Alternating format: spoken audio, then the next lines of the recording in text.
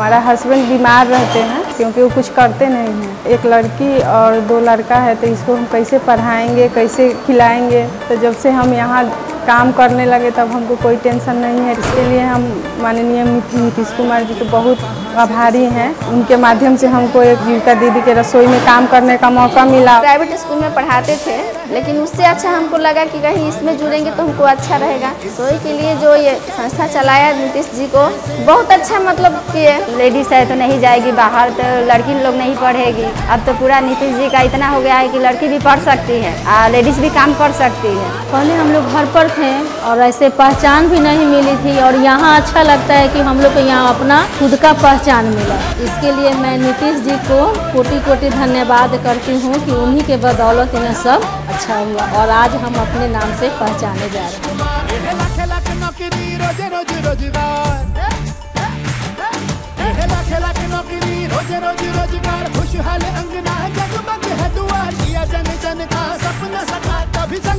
बोलता परिवार। पढ़ा पढ़ा